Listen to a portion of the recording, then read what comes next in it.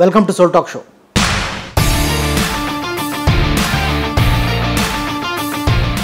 Soul talk షోలో ఈరోజు మనతో ఉన్నారు శైలజ గారు. శైలజ గారు పిఎస్ఎస్ మూమెంట్లో ఎన్నో సంవత్సరాలుగా ఉంటూ ధ్యాన జగత్ పిరమిడ్ జగత్ శాకాహార జగత్కై ఎంతో కృషి చేస్తున్నారు. అలాగే పిఎస్ఎస్ఎంలో జరిగే ఎన్నో కార్యక్రమాల్లో ప్రధాన పాత్రను పోషిస్తూ ఒక మహిళగా ఉంటూ తన ధర్మాలు తను నిర్వర్తిస్తూ సొసైటీకి ఆధ్యాత్మిక సేవకి అంకితమైన శైలజ గారితో ఈరోజు soul talk show. Welcome to soul talk show. నమస్తే నవకాంత్ గారు. మీ నేపథ్యం చెప్పండి. నేపథ్యం ఇన్ ద సెన్స్ మీ బ్యాక్గ్రౌండ్ పుట్టి పెరిగింది ఎక్కడ మీ ఫ్యామిలీ? ముందుగా బ్రహ్మర్షి పితామహ పత్రిజీ గారికి ఆత్మ ప్రణామాలతో నా పేరు శైలజ. నేను ఈ ధ్యానంలోకి వచ్చి పదహారు సంవత్సరాలు అయింది. నేను పుట్టింది కర్ణాటకలో. పెరిగింది మాత్రం కృష్ణా జిల్లా గుడివాడ దగ్గర ఎల్మర్ గ్రామంలో పెరిగాను. ఓకే. నాన్నగారి పేరు వెంగళరావు గారు అమ్మ పేరు అరుణకుమారి నాకు ఇద్దరు బ్రదర్స్.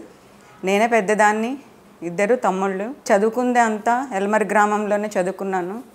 తర్వాత నేను విజయవాడ కృష్ణవేణిలో డిప్లొమా చేశాను. నాకు చిన్నప్పటి నుంచి కూడా ఆధ్యాత్మికం అంటే చాలా ఇంట్రెస్ట్. ఎక్కువ పూజలు అవి బాగా చేసేదాన్ని. ఎందుకని ఇంట్రెస్ట్? ఆధ్యాత్మికంగా ఎక్కువగా ఉండాలి అని అనిపించేది. ఆధ్యాత్మికంగా ఉండడం అంటే ఏంటి? దేవుళ్ళు అంటే ఎక్కువ ఇంట్రెస్ట్ పూజలు చేయాలి ఎక్కువ ఉపాసాలు ఉండేదాన్ని. కార్తీక మాసంలో కూడా ఎక్కువ ఉపాసాలు ఉంటూ పూజలు ఎక్కువ చేస్తూ ఉండేదాన్ని. గుడికి ఎక్కువ వెళ్ళేదాన్ని. ఉండేది చిన్నప్పుడు? చిన్నప్పుడు భక్తి ఉండేది. ఓకే. పెద్దవాళ్ళందరూ భజనలు చేస్తుంటే నాకు కూడా చెయ్యాలి. ఏ దేవుడు అంటే ఎక్కువ ఇష్టం ఉండే? కృష్ణుడు అంటే ఎక్కువ ఇష్టం. ఓకే అప్పుడు పూజలు చేసేవాళ్ళ బాగా? పూజలు బాగా చేసేదాన్ని. టెంపుల్స్కి ఎక్కువ వెళ్ళేదాన్ని భజనలు ఎక్కువ చేసేదాన్ని. అసలు ఈ ఆధ్యాత్మిక మార్గంలో ఎలా వచ్చారు అసలు పిఎస్ఎస్ఎంలోకి మ్యారేజ్ అయిన తర్వాత నాకు కొన్ని అంటే ఫ్యామిలీ పరంగా డిస్టర్బెన్సెస్ ఎక్కువ ఉండేవి. ఓకే. అప్పుడు ఏం చేయాలో అర్థమయ్యేది కాదు. ఆ డిస్టర్బెన్సెస్ ఉండడం ఎక్కువ ఆలోచించేదాన్ని. నిద్ర అది పట్టేది కాదు. ఏది ఫ్యామిలీ ప్రాబ్లమ్స్ వల్ల? చిన్న విషయాన్ని పెద్దది చేసి ఎక్కువ ఆలోచించేదాన్ని నేను. ఓకే. అది ఎప్పుడు తెలిసిందంటే ధ్యానంలోకి వచ్చిన తర్వాత నాకు అర్థమైంది. ఫ్రెండ్స్ అందరూ చెప్పేవారు అనమాట ధ్యానం చేస్తే బాగుంటుంది అని. అంటే ఒక రకమైన డిప్రెషన్లో ఉన్నారా? ఒక రకమైన డిప్రెషన్లో ఉన్నాను. ఓకే. నిద్ర పట్టకపోవడానికి మెడిసిన్స్ వాడేదాన్ని. నిద్ర టాబ్లెట్లా? నిద్ర టాబ్లెట్లు వాడేదాన్ని. ఓకే. నేను డిప్లొమా ఇన్ ఫార్మసీ చేశాను. అంటే మెడిసిన్స్కి సంబంధించి నాకు అన్నీ తెలుసు. నిద్ర పట్టకపోతే టాబ్లెట్స్ వేసుకోకూడదు అని కూడా తెలుసు. అయినా సరే మరి నిద్ర పట్టకపోవడం వల్ల నేను మెడిసిన్స్ వాడేదాన్ని. మా హస్బెండ్ అంటే బాగా నిద్రపోతుంటే నాకు జలసీ వచ్చేది.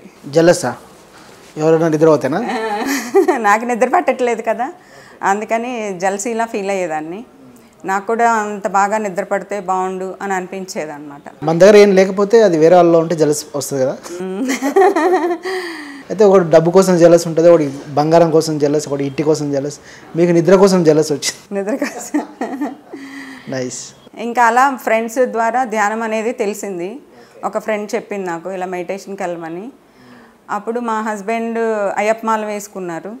నాకు అప్పుడు వెళ్ళడానికి అవ్వలేదు. ఫార్టీ డేస్ క్లాసెస్ పెట్టారు స్టీల్ ప్లాంట్లో స్టీల్ ప్లాంట్లో సెక్టర్ ఫోర్లో ఉండేవాళ్ళము. త్రోబాల్ ఆడుతున్నప్పుడు ఒక మేడం వచ్చారు అనురాధ మేడం అని. ఆవిడ నాకు గురువు అనమాట ఆ మేడం వచ్చి చెప్పారు "ఉమ్, మా ఇంట్లో ఫార్టీ డేస్ క్లాసెస్ అవుతున్నాయి మీరు అందరూ రావాలి తప్పకుండా అని చెప్తే అప్పుడు మెడిటేషను ఏంటి ఎలాగా అనేది మేము అందరం అనుకున్నాము.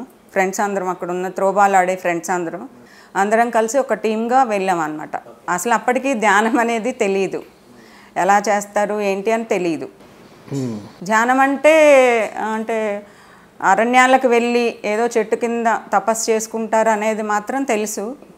ఇంక మేమందరం కలిసి క్లాసెస్కి వెళ్ళామన్నమాట. వెళ్ళినప్పటికి నాకు ఎంత ఆశ్చర్యం అంటే అది బీ టైప్ క్వార్టర్స్ స్టీల్ ప్లాంట్లో ఒక ఫోర్ హండ్రెడ్ మెంబర్స్ ఉన్నారు. ఆల్రెడీ అక్కడికి వచ్చి ఉన్నారు అనమాట ఫోర్ హండ్రెడ్ మెంబర్స్ చూసి ఆశ్చర్యం వేసింది నాకు. ఏంటి ఇంతమంది వస్తారా? టూ బెడ్రూమ్స్లోనూ నిండిపోయారు హాల్లోనూ నిండిపోయారు బయట కూడా చాలామంది కుర్చీలు వేసుకుని కూర్చుని ఉన్నారనమాట మేము వెళ్ళి చివరి కూర్చున్నాం. చివరి కూర్చుని సార్ అప్పుడు ఎవరో నాకు గుర్తులేదు. సార్ వచ్చి మెడిటేషన్ చేయించారు. తర్వాత క్లాస్ కూడా చెప్పారు. అయిపోయిన తర్వాత నేను సార్ దగ్గరికి వెళ్ళి అడిగాను. సార్ ఇలా నాకు నిద్ర పట్టట్లేదు. ఏం చేయాలి? ఫ్రెండ్స్ ఎవరో చెప్పారు ఇలా ధ్యానానికి రమ్మనేసి.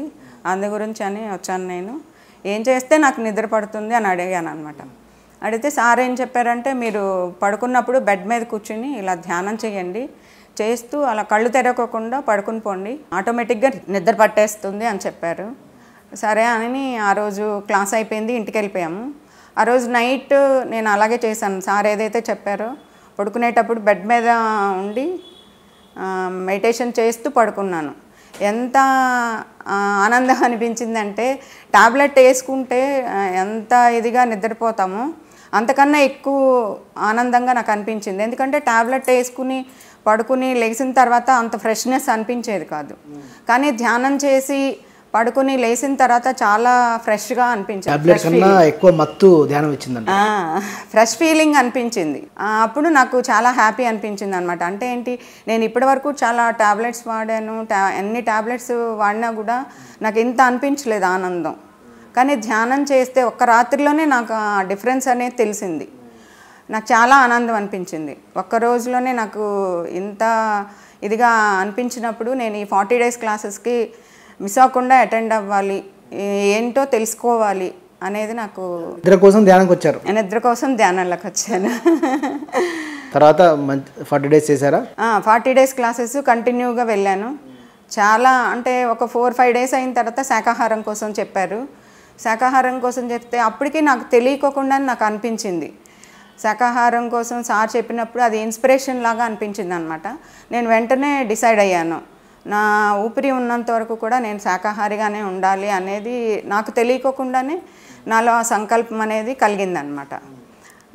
అయిపోయింది క్లాసెస్ అన్నీ అవుతూ ఉండగా నేను ఇంటికి వెళ్ళాను. ఇంటికి వెళ్ళిన తర్వాత మా హస్బెండ్ ఏం చెప్పారంటే అందరూ నాన్ వెజ్ తింటారు జనరల్గా. మా హస్బెండ్ ఈరోజు నేను అన్వి తీసుకొస్తాను అనేసి అని చెప్పారు. తీసుకొస్తానంటే నాకు భయం మొదలైంది.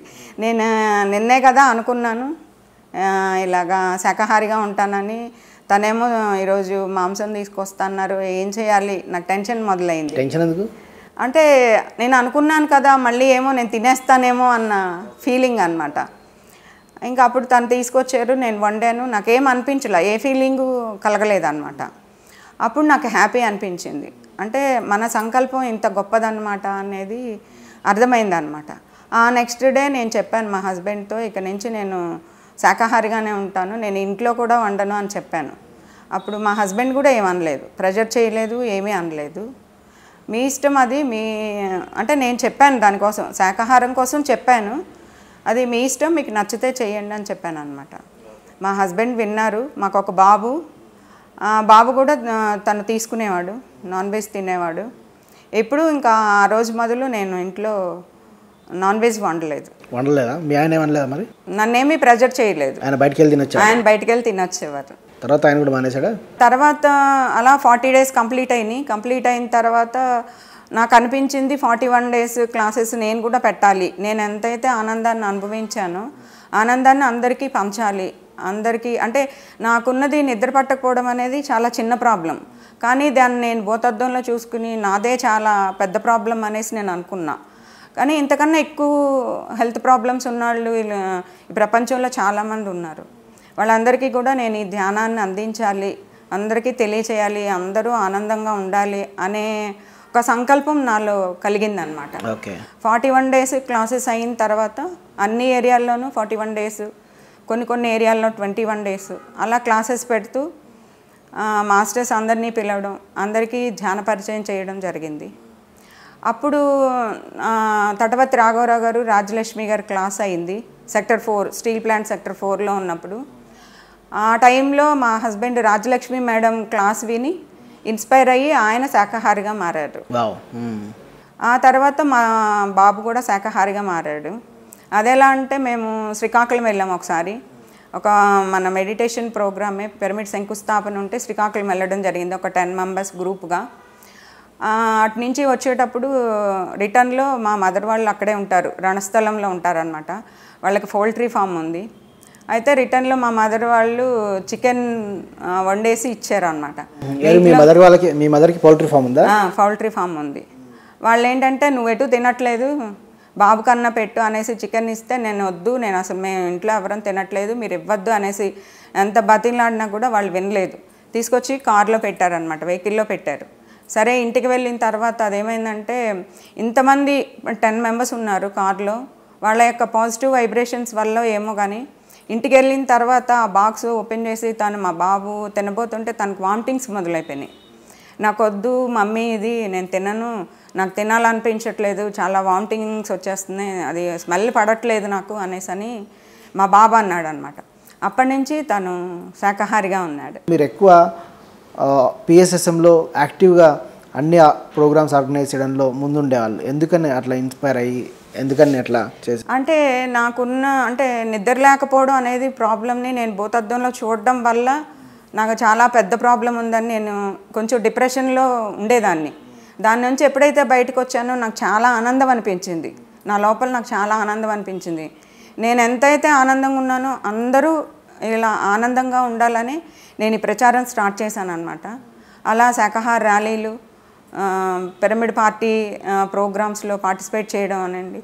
స్వచ్ఛ భారత్ అలా అన్ని ప్రోగ్రామ్స్లోనూ పార్టిసిపేట్ చేసేదాన్ని. ఆ, ర్యాలీలో పార్టిసిపేట్ చేసినప్పుడు పాంప్లెట్స్ పంచుతూ ఉంటే నాకు అసలు ఎంత ఎనర్జీ క్రియేట్ అయిపోయేదంటే మామూలుగా అయితే నేను అసలు ఒక కిలోమీటర్ తిరగాలంటేనే నాకు కాళ్ళు చాలా నొప్పులు అనిపించేది. అలాంటిది ర్యాలీలో కానీ ఏమైనా వర్క్లో పార్టిసిపేట్ చేసినప్పుడు నాకు చాలా ఆనందం అనిపించేది.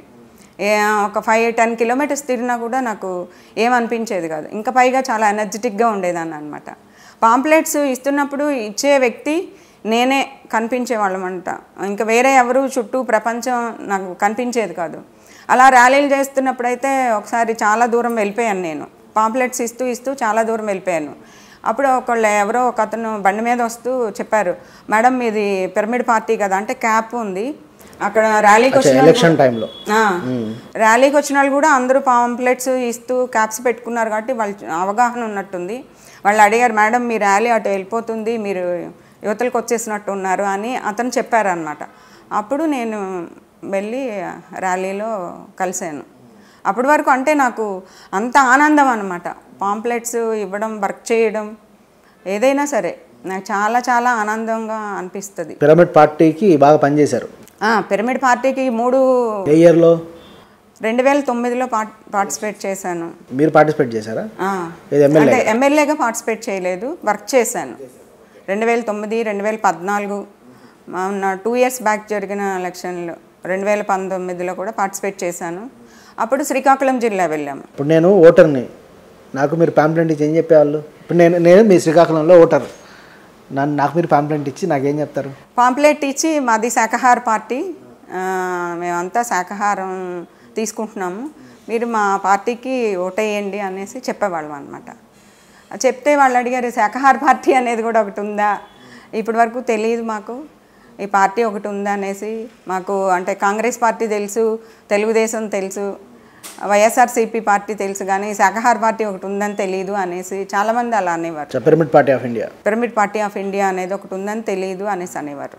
ఇప్పుడే వింటున్నాం మీరు చెప్తుంటే అనేవారు అనమాట తిట్టేవాళ్ళ ఎందుకమ్మా మీకు పార్టీలు ఎలక్షన్ లేదు? ఎప్పుడు ఎవరు తిట్టలేదు. క్రిటిసైజ్ చేయలేదు ఎవరు? ఎవరు క్రిటిసైజ్ చేయలేదు. కానీ చాలా ఆనందం అనిపించింది.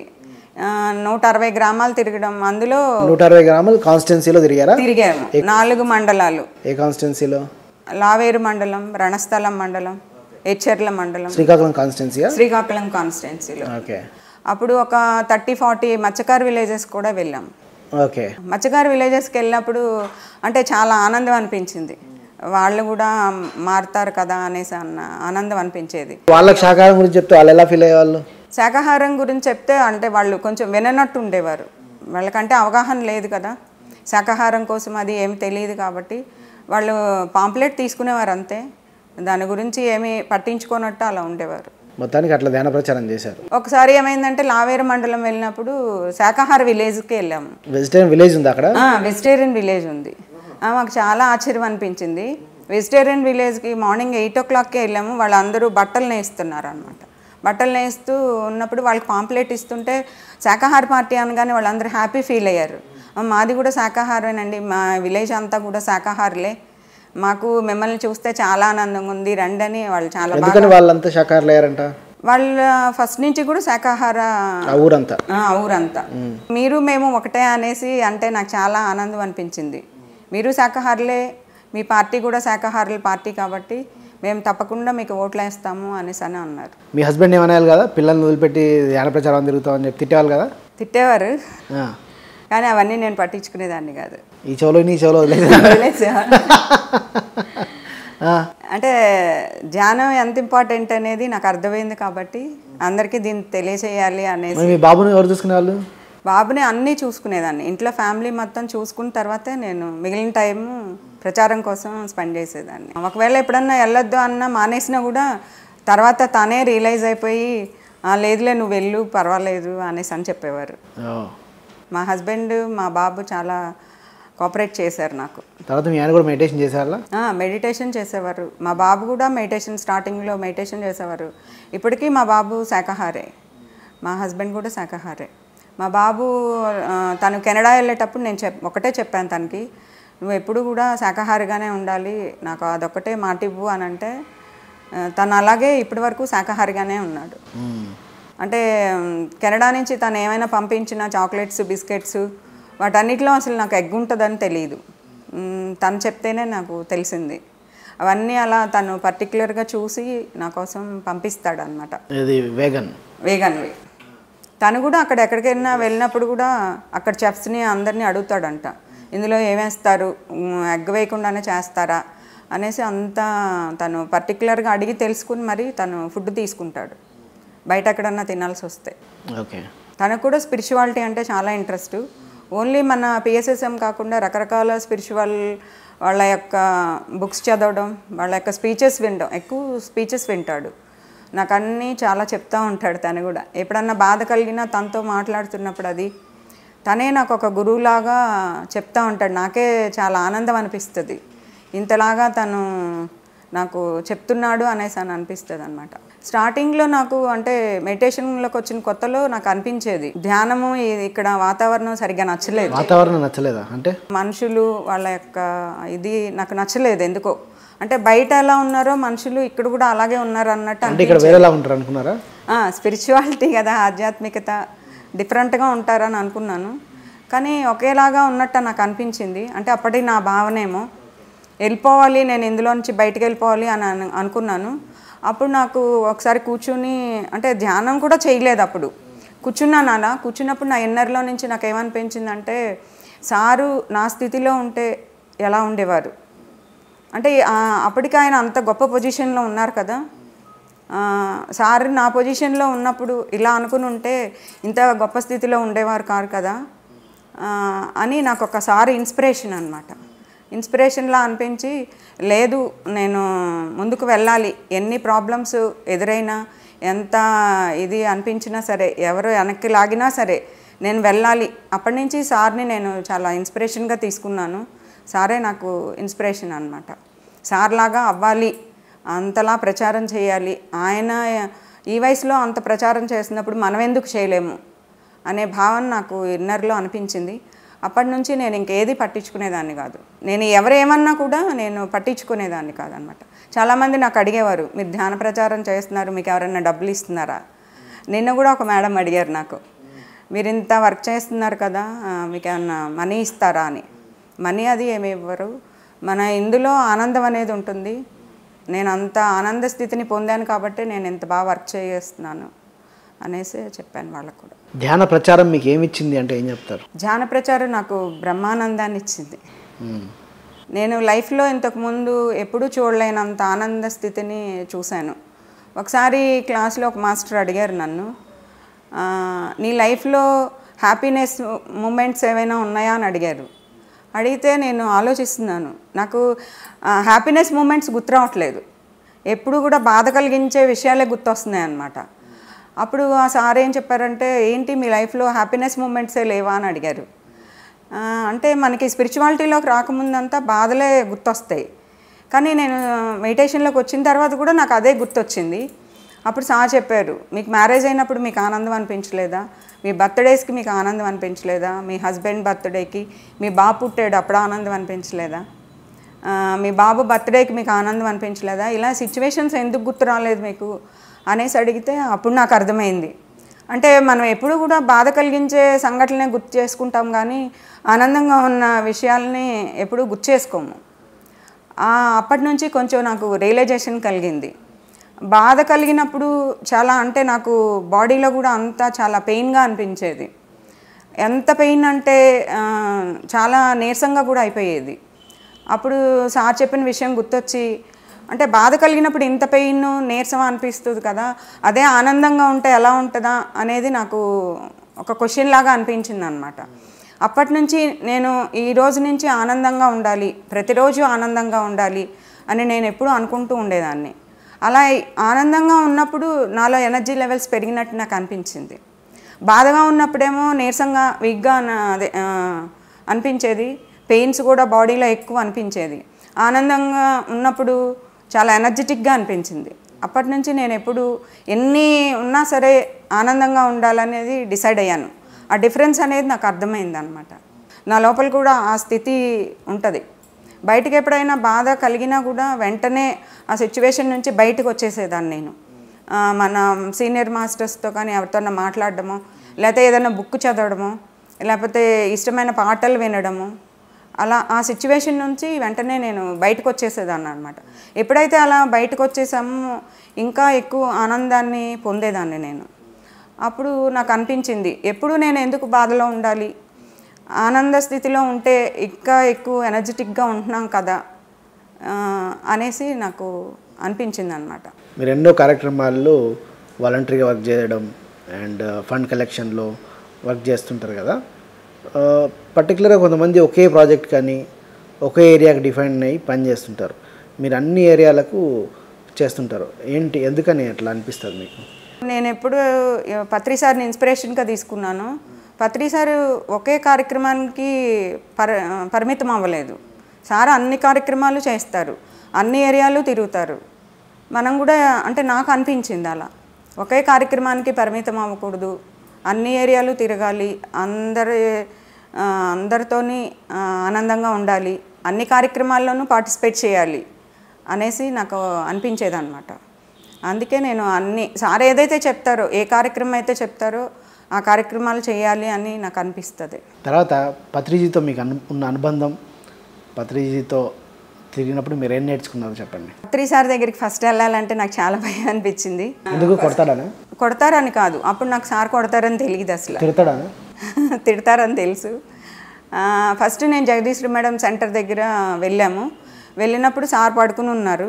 అందరూ ఆయన కాళ్ళు నొక్కుతున్నారు అనమాట నాకు అది నచ్చలేదు. సార్కి అందరు కాళ్ళు నొక్కుతున్నారేంటి అని అనుకున్నాను. నేను మా హస్బెండ్ దూరంగా ఉన్నాం అనమాట అప్పుడు సార్ చూశారు ఇలా ఇలా అని పిలిచారు.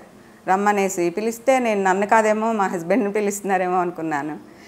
మా హస్బెండ్ని సార్ పిలుస్తున్నారు అనేసి అని అంటే లేదు మిమ్మల్నే మీరు రండి మేడం అన్నారు. అని అంటే వెళ్ళాను సార్ దగ్గరికి ఇలా షేక్ హ్యాండ్ ఇచ్చారు. షేక్ హ్యాండ్ ఇస్తే నాకు షాక్ అనమాట ఏంటంటే ఎంత వేడిగా ఉందో సార్ చెయ్యి. ఒక నూట ఎనిమిది డిగ్రీలు జ్వరం వచ్చిన వాళ్ళ చెయ్యి ఎలా ఉంటుందో అంత హీట్గా ఉందన్నమాట ఆయన చెయ్యి. అప్పుడు నాకు కొంచెం ఒక టూ మినిట్స్ అయిన తర్వాత అర్థమైంది ఏంటంటే సార్ లోపల నుంచి ఎనర్జీ అనేది నాకు ఫ్లో అవుతున్నట్టు అనిపించింది. నేను మెడిటేషన్లోకి వచ్చిన కొత్తలో అనమాట చెయ్యి లాగేసుకోవాలి అనే భావన వచ్చింది. ఎందుకంటే ఆ వేడిని నేను తట్టుకోలేకపోతున్నాను. అప్పుడు నందా సార్ వచ్చారు అక్కడికి. నందా సార్ వచ్చి లేదు ఉండు నువ్వు అలా అనేసి అని చెప్పారనమాట అది ఫస్ట్ ఎక్స్పీరియన్స్ ఫస్ట్ ఎక్స్పీరియన్స్ తర్వాత? తర్వాత సార్తోని ఉన్నప్పుడు నాకు చాలా ఆనందం అనిపించేది. నాకు రకరకాల డౌట్స్ వచ్చేవి. సార్ లేనప్పుడు. రకరకాల డౌట్స్ వస్తే ఎవరిని అడగాలి? నాకు తెలిసేది కాదు.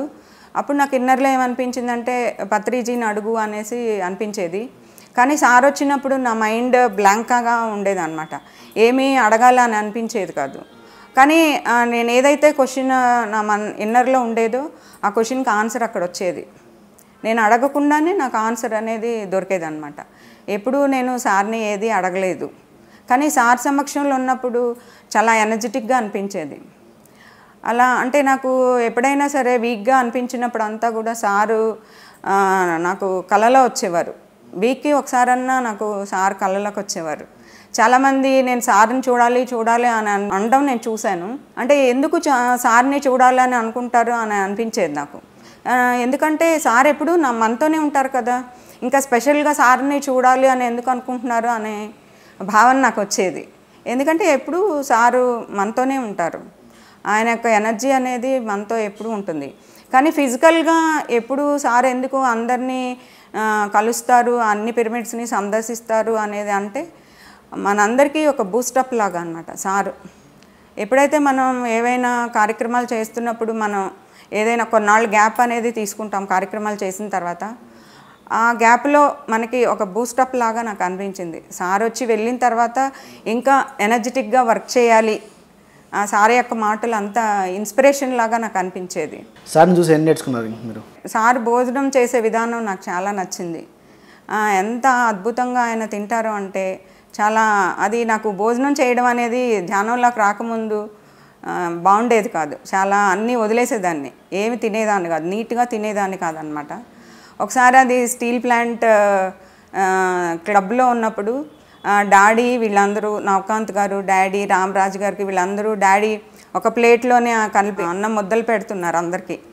నాకు అది చాలా ఇదిగా అనిపించింది. అంటే ఎప్పుడు నాకు అలా అలవాట్లేదు. ఎవరి పళ్ళెంలో వాళ్ళు తినడమే నాకు తెలుసు. ఇలా అందరికీ ముద్దలు కలిపెట్టడం అనేది నాకు నచ్చలేదన్నమాట. అబ్బాయి ఏంటి డాడీ ఇలా చేస్తున్నారు ఏంటి అని అనిపించింది. కానీ తర్వాత అందులో ఉన్న ప్రేమతత్వం నాకు అర్థమైంది. అలా నేను సార్ దగ్గర ఉన్నప్పుడు కూడా సార్ కూడా చాలా ప్రేమగా ఉంటారు అందరితోని. ఎంత పాజిటివ్గా ఉంటారంటే ఎప్పుడు కూడా ఒక్క నెగిటివ్ మాట మాట్లాడలేదు సార్. సార్ ప్రోగ్రామ్ ఎలా జరిగింది అని అంటారు. అందరూ కూడా ఎప్పుడు పాజిటివ్గానే చాలా బాగా జరిగింది సార్ చాలా అద్భుతంగా జరిగింది. ఎలా ఉంది మేడం అని అడుగుతారు. ఎంతో అద్భుతంగా ఉంది. అంటే ఎప్పటికప్పుడు ఆయన ఆ ఎనర్జీ లెవెల్స్ని పెంచుకోవడం ఎప్పుడు పాజిటివ్గా మాట్లాడడం ఎప్పుడు ఆనందాన్ని క్రియేట్ చేయడం ఇవన్నీ నాకు నచ్చినాయి. చాలా బాగా అనిపించింది. ఒకసారి మేము ఒక సెవెన్ డేస్ ప్రోగ్రామ్ చేస్తున్నప్పుడు సార్కి ఫోన్ చేసి సార్ని ఇన్వైట్ చేయాలి అని అనిపించింది రెండు వేల తొమ్మిదిలో. అప్పుడు మరి ఎవరిని అడగాలి ఎవరిని అప్రోచ్ అవ్వాలి పత్రి సార్తో మాట్లాడాలి అంటే అప్పుడు చాలామందికి కాల్ చేశాను. అలా మొత్తానికి ఎలా అయితేనేమి సార్తో మాట్లాడాను. మాట్లాడినప్పుడు నేను గ్రహించిన విషయం ఏంటంటే సార్ నేను కొంచెం బిజీ ఉన్నాను మేడం అని చెప్పారు కానీ నో అని చెప్పలేదు. ప్రోగ్రామ్కి రావడం కుదరదు అని చెప్పలేదన్నమాట. నాకు ఎంత ఆశ్చర్యం అనిపించిందంటే ఎంత బాగా మాట్లాడుతున్నారు సారు ఎంత పాజిటివ్గా మాట్లాడుతున్నారు. అంటే ఒక వర్డ్ని నెగిటివ్గా మాట్లాడకుండా పాజిటివ్గా ఎలా చెప్పచ్చు అనేది కూడా నేను సార్ నుంచి నేర్చుకున్నాను. నాకు చాలా ఆనందం అనిపించింది. మీ జీవితంలో ఇప్పటిదాకా ఎన్నో సంవత్సరాల నుంచి మెడిటేషన్ చేస్తున్నారు కదా? ధ్యానంలో మర్చిపోలేని అనుభూతి ఏంటి? ముఖ్యమైనది ఏంటంటే ఒకసారి పత్రి సార్ నాకు విజన్లో వచ్చారనమాట నేను అప్పుడు క్లాసెస్ చేస్తున్నాను. ధ్యానంలోకి వచ్చిన కొత్తలో విశ్వేశ్వరయ్య నగర్లో అలా రాజీవ్ నగర్లో క్లాసెస్ పెట్టాను. నాకు ముక్కులో సైనస్ ప్రాబ్లం అనేది ఉండేది. అప్పుడు బాగా చలికాలం. నాకు బాగా ఫీవర్ వచ్చింది. నేను ఫీవర్ వచ్చినప్పుడు నేను పత్రి సార్ని తలుచుకుని అలా పడుకున్నాను. పడుకున్నప్పుడు నాకు బాగా ఫీవర్గా ఉంది. ఎలా సార్ నేను క్లాసెస్ రన్ చేయాలి? రోజు వెళ్ళాలి క్లాసెస్కి. నాకేమో నా బాడీ సహకరించట్లేదు. నేనేం చేయాలి? అనేసి అని సార్ని అడిగి అలా కళ్ళు మూసుకుని పడుకున్నాను అనమాట పడుకున్నప్పుడు నాకు ఒక విజన్ వచ్చింది. నా ఎదురుగుండా పత్రి సార్ వచ్చారు. వచ్చి ఒక చిన్న పిరమిడ్ బ్లాక్ కలర్లో ఉంది ఆ పిరమిడ్. అది తీసుకుని నా ముక్కులోకి సారు విసురుతున్నారు. అప్పుడు నేను సార్ వద్దు. నాకు అసలు ఊపిరాడట్లేదు మీరేంటి ఇలాగా ఆ పిరమిడ్ని ఆ, నా ముక్కులోకి విసురుతున్నారు. వద్దు వద్దు అనేసి అని చెప్తున్నాను. అప్పుడు సార్ ఏమన్నారంటే మీరు సైలెంట్గా ఉండండి మేడం. మీరు మాట్లాడకండి అనేసి అన్నారు. అప్పుడు నేను అలాగే సైలెంట్గా ఉన్నాను. అప్పుడు ఆ పిరమిడ్ని సారు నా ముక్కులోకి విసిరేశారనమాట విసిరినప్పుడు అది నా ముక్కులో ఇలా కోసుకుంటూ లోపలికి వెళ్ళిపోయింది. మింగేసి మింగేసినట్టు అనిపించింది ఆ ఫీలింగ్. ఆ వెంటనే నాకు బాగా గాలాడింది అనమాట అంటే అప్పటి వరకు నాకు ఊపిరి ఆడుకోకుండా ఉన్న సిచ్యువేషను చాలా ఫ్రీగా అనిపించింది. నాకు చాలా ఆనందం అనిపించింది. అప్పుడు నేను వెంటనే నందా గారికి ఫోన్ చేసి చెప్పాను ఇలాగా. నాకు ఎక్స్పీరియన్స్ వచ్చింది సార్ అనేసి చెప్తే సార్ ఏమన్నారంటే మీకు హాస్టల్ సర్జరీ జరిగింది మేడం. అనేసి అని చెప్పారు. నాకు అప్పటికి హాస్టల్ సర్జరీ అంటే కూడా ఏమీ తెలియదు అప్పుడు టైం అర్ధరాత్రి ఒంటి గంట అయింది. ఆ టైంలో నేను అసలు సార్కి ఫోన్ చేస్తానని అనుకోలేదు. కానీ నాకు ఆ ఎక్స్పీరియన్స్ వచ్చిన ఆనందంలో నేను సార్కి ఫోన్ చేశాను. కానీ ఒంటి గంట అయినా కూడా ఆ టైంలో నందా గారు ఫోన్ లిఫ్ట్ చేసి నేను ఏదైతే ఎక్స్పీరియన్స్ చెప్పానో ఆ ఎక్స్పీరియన్స్ అంతా విన్నారు. విన్న తర్వాత అప్పుడు చెప్పారనమాట మీకు హాస్టల్ సర్జరీ జరిగింది మీ ప్రాబ్లం క్లియర్ అయిపోయింది. కావాలంటే ఒకసారి చెక్ చేసుకోండి అని చెప్పారనమాట ఆ నెక్స్ట్ డే హాస్పిటల్కి వెళ్ళినప్పుడు డాక్టర్ చెప్పారనమాట మీకు సైనస్ ప్రాబ్లం లేదు బాగానే ఉంది. అనేసి చెప్పారు. నాకు చాలా ఆనందం అనిపించింది. ఎందుకంటే అంతకుముందు నేను చాలాసార్లు హాస్పిటల్కి తిరిగాను. ఆపరేషన్ చేయించుకుందామని కూడా థియేటర్ వరకు వెళ్ళిన దాన్ని ఎవరో చెప్పడం వల్ల సైనస్ ఆపరేషన్ చేయించుకున్నా కూడా మళ్ళీ అది వస్తుంది అని చెప్పారనమాట మా హస్బెండ్ వాళ్ళ ఫ్రెండ్. అలా నేను బ్యాక్ రావడం జరిగింది. ఆపరేషన్ చేయించుకోకుండా బ్యాక్ రావడం జరిగింది. ఆయుర్వేద మెడిసిన్స్ వాడాను హోమియోపతి వాడాను. ఇవన్నీ వాడినా కూడా తగ్గంది నాకు. కేవలం ధ్యానం వల్ల నాకు ఈ సైనస్ ప్రాబ్లం తగ్గిందనమాట పూర్తిగా తగ్గిపోయిందా? పూర్తిగా తగ్గిపోయింది. ఏదైతే ఆపరేషన్ చేశారన్న ఎక్స్పీరియన్స్ అప్పటి నుంచి లేదు? అప్పటి నుంచి నాకు సైనస్ ప్రాబ్లం అనేది రాలేదు. చాలా హ్యాపీ అనిపించింది నాకు. అంటే బయట ఆపరేషన్లు అవి చేయించుకుంటారు. చేయించుకున్నా కూడా తగ్గదు అని చెప్పారు. అలాంటిది నాకు ధ్యానంలో నేను ఫ్రీగా తగ్గించుకున్నాను సైనస్ ప్రాబ్లం అనేది అసలు సర్జరీ ద్వారా. ఓకే. ఇంకా నాకు చాలా అనుభవాలు కూడా వచ్చాయి. చెప్పండి ఇంకొకటి రెండు. నేను ఒక బుక్ చదివాను. ఆ బుక్లో పత్రి మేడం చాలా హాస్టల్ లోకాలు తిరిగారు అనేసి అని చదివాను. ఆ హాస్టల్ లోకాలు ఎలా ఉంటాయి ఏంటి నాకు తెలియదు నాకు కూడా అలా హాస్టల్ లోకాలు వెళ్ళాలి అని అనిపించింది. అప్పుడు ధ్యాన స్థితిలో నేను పడుకున్నాను అనమాట పడుకున్నప్పుడు నాకు మూడు లోకాలు వెళ్ళిన ఫీలింగ్ అనిపించింది. ఒక లోకంలోకి వెళ్ళినప్పుడు ఏంటంటే అక్కడంతా ఒక రివరు హట్ ఆ రివర్లో అందరూ ఉన్నారు. ఆడవాళ్ళు మగవాళ్ళు అందరూ ఉన్నారనమాట అనమాట అక్కడ ఎంత ఆనందంగా ఉన్నారు అనేది చూశాను. ఆ లోకంలోకి వెళ్ళినప్పుడు. తర్వాత ఇంకో లోకంలోకి వెళ్ళినప్పుడు ఏంటంటే చాలా పొడవుగా ఉన్నారు అందరూ. శ్రీకృష్ణుడు ఉన్నాడు అక్కడ. ఇంకా చాలామంది ఋషులు ఉన్నారు సప్త ఋషులు ఉన్నారు. వాళ్ళందరూ కూడా చాలా హైట్లో ఉన్నారు. అక్కడ కూడా అందరూ ఆనందంగా ఉన్నారు. అంటే నాకు ఆ లోకానికి ఎవరో ఒకళ్ళు తీసుకెళ్ళారు. తీసుకువెళ్ళి వీళ్ళు పలానా వీళ్ళు పలానా అని నాకు పరిచయం చేస్తున్నారు అనమాట వాళ్ళందరూ కూడా ఎంతో ఆనందంగా ఉన్నారు ఆ లోకంలో ఉన్నప్పుడు కూడా. వాళ్ళందరికీ పొడవ జుట్టులు ఉంది. చాలా అంటే ఒక పది అడుగుల పైన హైట్లో ఉన్నారు వాళ్ళు. నేనే చాలా చిన్నగా ఉన్నాను. వాళ్ళ ముందు అనమాట టెంపుల్ కనిపించింది. ఆ టెంపుల్ ఒక రథము ఆ టెంపుల్ పైన ఒక కమలం లాగా సహస్ర కమలం అంటారు కదా అవి ఇచ్చుకుని ఉన్నాయి. అక్కడ లిల్లీ పుట్స్ లాగా ఉన్నారనమాట ఆ లోకంలో అందరూ లిల్లీ పుట్స్లా ఉన్నారు. ఒక్కొక్క రేకు మీద సహస్ర కమలం ఉంది కదా ఆ రేకు మీద లిల్లీ పుట్స్ అందరూ డ్యాన్స్ చేస్తున్నారు. నాకేమనిపించిందంటే అక్కడ ఒక టెంపుల్లో అన్ని కలర్స్ అన్నీ కనిపిస్తున్నాయి నాకు. అది ఎంతో ఆనందం అనిపించింది. ఎందుకంటే ఏ లోకం వెళ్ళినా కూడా అంత ఆనందంగా ఉన్నారు. అది అయిపోయిన తర్వాత నాకేంటంటే నేను బయటకు వచ్చేసాను. నాకు బాగా దాహం అనిపించింది అప్పుడు. నేను పక్కనే ఎప్పుడు వాటర్ బాటిల్ అనేది పెట్టుకుంటాను అనమాట ఆ రోజు వాటర్ బాటిల్ లేక నేను చెంబుతో నీళ్ళు పెట్టుకున్నాను. అలా కళ్ళు తెరవకుండానే చాలా నాకు అంటే నీరసంగా కూడా అనిపించింది. అంటే ఆ లోకాలన్నీ ప్రయాణం చేయడం వల్ల అనేసి నాకు తర్వాత అర్థమైంది. వాటర్ తాగుతున్నప్పుడు అది నాకు అప్పుడు కాన్షియస్లోకి వచ్చాను అనమాట అప్పుడు నాకు అర్థమైంది ఏంటంటే అన్ని లోకాలు ఏ లోకంలో ఉన్నా కూడా అందరూ ఆనందంగానే ఉన్నారు. ఒక్క మన ఈ లోకంలోనే భూలోకంలోనే అందరూ బాధలు పడుతూ ఉన్నారు. అందరికీ కూడా ఈ ధ్యానాన్ని తెలియచేయాలి.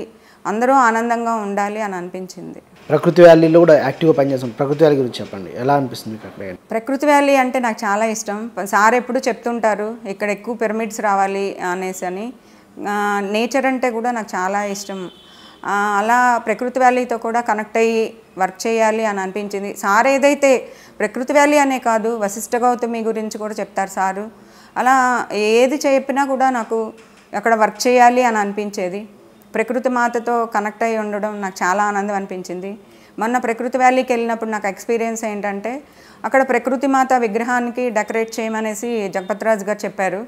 అలా డెకరేట్ చేస్తున్నప్పుడు చాలా అంటే అక్కడ నేను చేశాను అనే భావన లేదనమాట. ఆ ప్రకృతి మాతే అంతా చేయిస్తుంది అనే ఒక అద్భుతమైన భావన నాకు కలిగింది. చాలా ఆనందం అనిపించింది. అక్కడ వర్క్ చేయడం నా అదృష్టంగా భావిస్తాను. ఎక్కడ? ఎక్కడైనా సరే వర్క్ చేయడం అనేది నా అదృష్టంగా భావిస్తాను. ఒకసారి వశిష్ఠ గౌతమిలో కూడా నాకు ఒక ఎక్స్పీరియన్స్ అయింది. మేము అక్కడ పిఎంసి యాడ్స్ గురించి అని ప్రచారానికి వెళ్ళాము. నాగేంద్ర గారు నేను మా నా ఫ్రెండ్ కృష్ణ ఇంకా శేఖరు ఇంకా చాలామంది అందరం వెళ్ళామన్నమాట. వెళ్ళినప్పుడు అప్పుడు సార్ కాల్ చేశారు. ఇలా మేము పిఎంసీ ఆర్ట్స్ కోసం వెళ్తున్నాం సార్ అనేసి అని చెప్పారు. ఇంకా అక్కడ ఎవరెవరు ఉన్నారు అనేసి అని అడిగితే అప్పుడు శైలజ చెప్పారనమాట ఇలా వైజాగ్ నుండి శైలజ మేడం కూడా వచ్చారంటే ఇమ్మన్నారు సారు. అప్పుడు సార్ అడిగారు వశిష్ఠ గౌతమి చూసారా మేడం? అంటే చూసాను సార్ అని అంటే ఈరోజు నైట్ వశిష్ఠ గౌతమిలో ఉండండి మేడం మీరు. ఉండి ఉన్న తర్వాత నెక్స్ట్ డే నాకు కాల్ చేసి చెప్పండి అని అన్నారు. అలాగే సార్ అని అన్న. కానీ యాక్చువల్గా మేము అది వన్ డే ప్రోగ్రామ్ అనుకునే వచ్చాము. బట్టలు అవి కూడా ఏం తెచ్చుకోలేదు. నాగేంద్ర గారు చెప్పారనమాట మీరు ఉండండి ఈరోజు టూ డేస్ ఉండండి అనేసి అని అంటే అయ్యో మేము బట్టలు తెచ్చుకోలేదు కదా ఎలాగా? అనేసి అని అంటే పర్వాలేదు ఏం పర్వాలేదు ఉండండి నేను షాప్లో కొనిస్తానులేండి అని అన్నారు నాగేంద్ర గారు. అలాగే ఆ రోజు ఈవినింగ్ సార్ కాల్ చేయడం మేము ఆ రోజు నైట్ వశిష్ఠ గౌతమిలో స్టే చేయడం జరిగింది. అప్పుడు దివాన్జీ గారు మాకు వశిష్ఠ గౌతమ్ గురించి అన్నీ చెప్పారు. పైకి మేము పిరమిడ్ అదంతా చూపిస్తున్నారు అనమాట పైకి వెళ్ళినప్పుడు ఆ ఎనర్జీస్కి నాకు చాలా అంటే ఒక టూ మినిట్స్ నాకు అసలు కాన్షియస్ లేదనమాట పైకి వెళ్ళినప్పుడు ఆ ఎనర్జీ ఫ్లో అవుతున్నట్టు నాకు బాగా తెలిసింది. ఒక టూ మినిట్స్ చాలా మత్తుగా కూడా అనిపించింది నాకు. అప్పుడు మేమందరం కూర్చుని అక్కడ ధ్యానం చేసాము ధ్యానం చేస్తున్నప్పుడు నాకు ఎంత అద్భుతమైన ఎక్స్పీరియన్స్ వచ్చిందంటే ఒక హిమాలయాస్ ఇవే అన్నంత భావన కలిగింది నాకు. లైట్ ఫ్లో అవుతున్నట్టు అంటే మన దీపావళికి గనక ఎలా చిచ్చుబుడ్లు అవి వెలిగించినప్పుడు పెద్ద ఫ్లో లాగా వస్తుంది కదా. అలా ఫ్లో లాగా వచ్చింది. ఇది ఒక అద్భుతమైన ప్లేసు అనేసి అని నాకు అనిపించింది అనమాట చాలా మంచి ఎక్స్పీరియన్స్ లాగా అనిపించింది. అంటే కైలాస మానస్ సరోవరం. నా ఇన్నర్లో నాకు వినిపిస్తుంది అనమాట ఇది ఒక కైలాస మానస్ సరోవరం అనేసి నాకు అది నేను మెడిటేషన్ నుంచి బయటకు వచ్చే వరకు కూడా నాకు చాలాసార్లు వినిపించింది అలాగా. వశిష్ఠ గౌతమి అనేది కైలాస మానస సరోవరం అని నాకు ఇన్నర్లో చెప్తున్నారు ఎవరో. అది నాకు చాలా అద్భుతంగా అనిపించింది. వెంటనే నేను మెడిటేషన్లోంచి బయటకు వచ్చిన తర్వాత అక్కడ ఉన్న వాళ్ళందరికీ చెప్పాను. నాకు అద్భుతమైన ఎక్స్పీరియన్స్ వచ్చింది ఇలాగా. ఇది కైలాస మానసరోవరం అనేసి చెప్తున్నారు అనేసి అని చెప్పాను అనమాట ఆ తర్వాత రోజు నేను పత్రి సార్ కాల్ చేయడం సార్ కొంచెం బిజీగా ఉండి అప్పుడు మాట్లాడలేదు.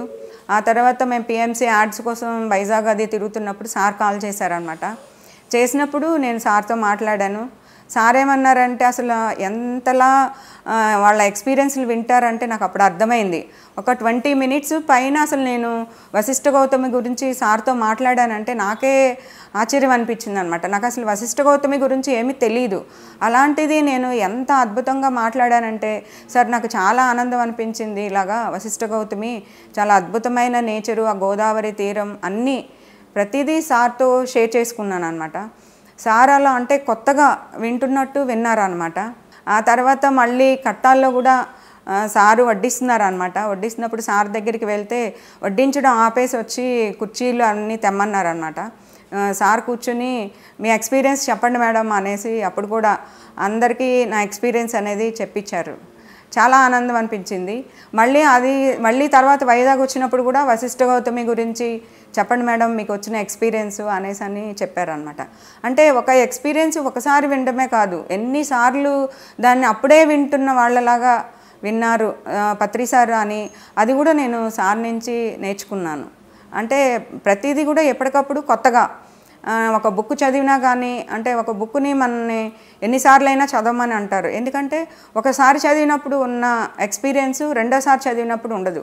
ఇంకా అంతకన్నా ఎక్కువ ఎక్స్పీరియన్స్ మనం ఫీల్ అవుతాము అందుకనేసే ఒక బుక్ ఒకసారి కాదు ఎన్నిసార్లైనా చదవాలి. సారు పదే పదే పర్సెప్షన్ని బట్టి మన ఎనర్జీని బట్టి అది అర్థం అవుతుంది అది అర్థమవుతూ ఉంటుంది. ఓవరాల్గా ఈ పిఎస్ఎస్ఎం ఫ్యామిలీ ఎలా అనిపిస్తుంది మీకు? నాకు పిఎస్ఎస్ఎం ఫ్యామిలీతో చాలా కనెక్టివిటీ ఏర్పడిపోయింది. చాలా ఆనందం అనిపిస్తుంది. నాకు అంటే బయట వాళ్ళతో నేను ఎక్కువ కనెక్షన్ అనేది ఉండదు. వాళ్ళు కనిపించినప్పుడు మాట్లాడతాను అంతవరకే. నాకు అందరూ కూడా పిఎస్ఎస్ఎంలో ఫ్రెండ్సే ఇందులోకి వచ్చినాక చాలా ఎక్కువ మంది ఫ్రెండ్స్ అయిపోయారు. అందరితోని చాలా ఆనందంగా ఉంటాను. Ninety five percent ninety five కాదు నైంటీ నైన్ పర్సెంట్ నేను పిఎస్ఎస్ఎం ఫ్యామిలీతోనే ఉంటాను. ఎప్పటికీ అలాగే ఉంటాను. ఇంకా భవిష్యత్తులో ఇంకా ఎట్లాంటి కార్యక్రమాలు చేయాలనుకుంటున్నారు? ఏంటి మీ ఇంట్రెస్ట్? నాకు నేను ఒక ప్రాజెక్ట్ తీసుకున్నాను. అది అంటే సారు లక్ష పిరమిడ్లు అనేసి చెప్పారు. లక్ష పిరమిడ్లు సార్ టార్గెట్ చేసింది మనం కూడా ఎంతో కొంత దానికోసం వర్క్ చేయాలి అని అనిపించింది. ఆ లక్ష పిరమిడ్లు ఎలాగా చేయాలి అంటే నాకు ఒక అంటే శ్రీకాకుళం నుంచి వైజాగ్ డివైడర్స్ మీద ప్రాజెక్ట్ చేయాలనేది అనిపించింది అనమాట ఒక టూ కిలోమీటర్స్కి ఒక పిరమిడ్ పెట్టాలి. డివైడర్ల మీద పిరమిడ్ పెట్టాలి అనేది నాకు అనిపించింది. ఆల్రెడీ కొన్ని పిరమిడ్స్ పెట్టాము. సారు ఓపెన్ చేశారు కూడా. మన రణస్థలంలో పెట్టాను మా మదర్ వాళ్ళ ఇంటి దగ్గర. అక్కడ పత్రిసార్తో చెప్పాను నేను ఇలా ప్రాజెక్ట్ చేస్తున్నాను సార్. మీరు రావాలి ఆన్ ది వేలో. హైవేలో పిరమిడ్స్ పెట్టడం. హైవేలో పిరమిడ్స్ పర్పస్ ఏంటి దానికి?